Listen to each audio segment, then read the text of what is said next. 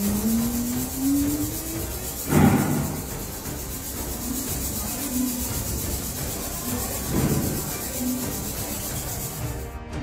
पै रहे ਮੀਂਹ ਨੇ ਤਬਾਹੀ ਮਚਾਈ ਹੋਈ ਹੈ ਹਾਹਾਕਾਰ ਮਚਾ ਦਿੱਤੀ ਹੈ ਕਈ ਥਾਵਾਂ ਤੇ ਵੱਡਾ ਨੁਕਸਾਨ ਹੋਇਆ ਹੈ ਇਸ ਵੀਡੀਓ 'ਚ ਦੇਖ ਲਓ ਜਿੱਥੇ ਇੱਕ ਔਰਤ ਦੇ ਉੱਤੇ ਪੂਰੀ ਦੀ ਪੂਰੀ ਕਈ ਫੁੱਟ ਉੱਚੀ ਕੰਧ ਆ ਕੇ ਡਿੱਗ ਜਾਂਦੀ ਹੈ ਤੇ ਗਲੀ 'ਚ ਮਲਬਾ ਹੀ ਮਲਬਾ ਹੋ ਜਾਂਦਾ ਹੈ ਹੇਠਾਂ ਗੱਡੀਆਂ ਵੀ ਖੜੀਆਂ ਹੁੰਦੀਆਂ ਨੇ ਜੋ ਇਸ ਕੰਧ ਦੇ ਮਲਬੇ ਹੇਠਾਂ ਆ ਜਾਂਦੀਆਂ ਨੇ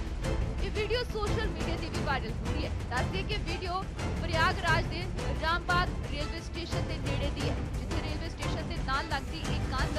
ਅਚਾਨਕ ਹੀ ਮੀਂਹ ਨਾਲ ਕਮਜ਼ੋਰ ਹੋ ਕੇ ਪੂਰੀ ਦੀ ਪੂਰੀ ਕੰਧ ਹੀ ਡਿੱਗ ਗਈ ਹੈ ਮਲਬਾ ਬਣ ਗਈ ਜਿੱਥੋਂ ਇੱਕ ਔਰਤ ਛਤਰੀ ਲੈ ਕੇ ਕੋਲੋਂ ਦੀ ਲੰਘ ਰਹੀ ਸੀ ਹੇਠਾਂ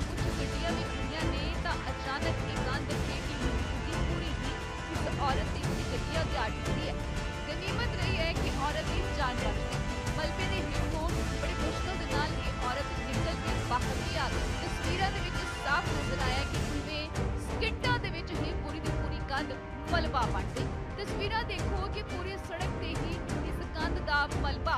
ਖਿਲਰ ਗਿਆ ਹਾਲਾਂਕਿ ਇਥੇ ਵੱਡਾ ਨੁਕਸਾਨ ਵੀ ਹੋ ਸਕਦਾ ਸੀ ਪਰ ਜਾਨੀ ਨੁਕਸਾਨ ਕੋਈ ਨਹੀਂ ਹੋਇਆ ਪਰ ਜੋ ਵਾਹਨ ਜੋ ਗੱਡੀਆਂ ਇਸ ਕੰਧ ਦੇ ਹੇਠਾਂ ਖੜੀਆਂ ਸਨ ਉਹ ਜ਼ਰੂਰ ਨੁਕਸਾਨੀਆਂ ਗਈਆਂ ਨੇ ਕੰਧ ਡਿੱਗਣ ਦੀ ਆਵਾਜ਼ ਸੁਣ ਕੇ ਲੋਕ ਵੀ ਬਾਹਰ ਨਿਕਲ ਆਏ ਤੇ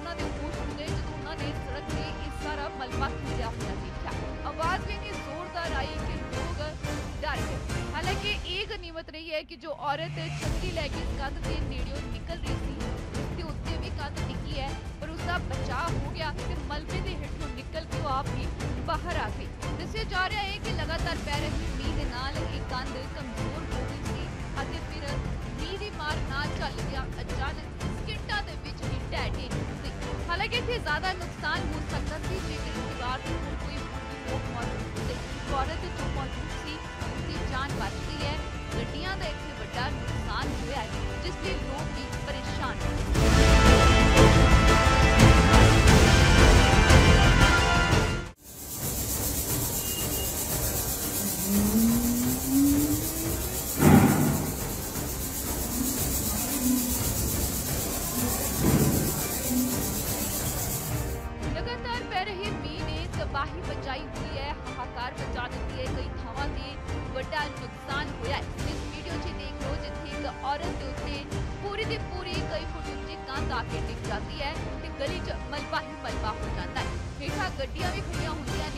ਇਸ ਕੰਧ ਦੇ ਮਲਬੇ ਹੇਠਾਂ ਆ ਜਾਂਦੀਆਂ ਨੇ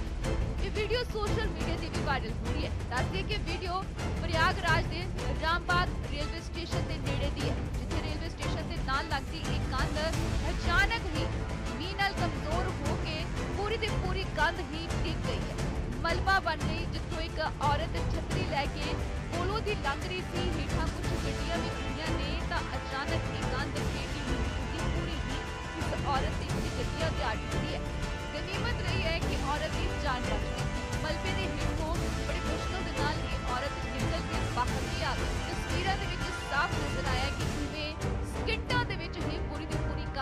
ਮਲਬਾ ਬਣ ਗਈ ਤਸਵੀਰਾਂ ਦੇਖੋ ਕਿ ਪੂਰੀ ਸੜਕ ਤੇ ਹੀ ਇਸ ਕੰਧ ਦਾ ਮਲਬਾ ਖਿਲਰ ਗਿਆ ਹਾਲਾਂਕਿ ਇਹ ਵੱਡਾ ਨੁਕਸਾਨ ਵੀ ਹੋ ਸਕਦਾ ਸੀ ਪਰ ਜਾਨੀ ਨੁਕਸਾਨ ਕੋਈ ਨਹੀਂ ਹੋਇਆ ਪਰ ਜੋ ਵਾਹਨ ਜੋ ਗੱਡੀਆਂ ਇਸ ਕੰਧ ਦੇ ਹੇਠਾਂ ਖੜੀਆਂ ਸਨ ਉਹ ਜ਼ਰੂਰ ਨੁਕਸਾਨੀਆਂ ਗਈਆਂ ਨੇ ਕੰਧ ਟਿੱਕਣ ਦੀ ਆਵਾਜ਼ ਸੁਣ ਕੇ ਲੋਕ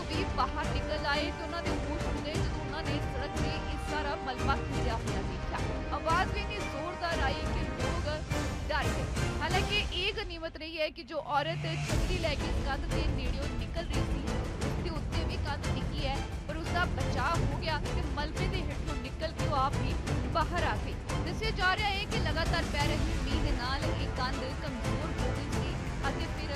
ਮੀਂਹ ਦੀ ਮਾਰ ਨਾਲ ਚੱਲ ਗਿਆ ਅਚਾਨਕ ਸਕਿੰਟਾ ਦੇ ਵਿੱਚ ਹੀ ਟੈਟੀ ਸੀ ਹਾਲਾਂਕਿ ਇਹ ਜ਼ਿਆਦਾ ਨੁਕਸਾਨ ਹੋ ਸਕਦਾ ਸੀ ਜੇਕਰ ਇਸ ਦੀਵਾਰ ਤੋਂ ਕੋਈ ਹੋ ਜਾਂਦੀ ਔਰਤ ਜੋ ਮੌਜੂਦ ਸੀ ਉਸ ਦੀ ਜਾਨ ਬਚ ਗਈ ਹੈ गड्डिया का इतने वाला नुकसान हुआ जिसके लोग भी परेशान हो गए